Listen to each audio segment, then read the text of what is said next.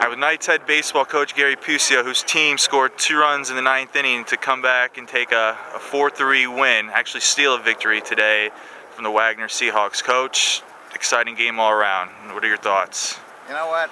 We made a lot of mistakes today. Uh, we didn't execute. We had a Kresge hit a triple with no out. Couldn't bring him home. Had two guys picked off in the first inning. We did a couple bad things. Two errors cost us two runs on the plays. But uh, what I told the guys was, I said, we're still in the game, we're still in the game. We're playing better and we're still in the game.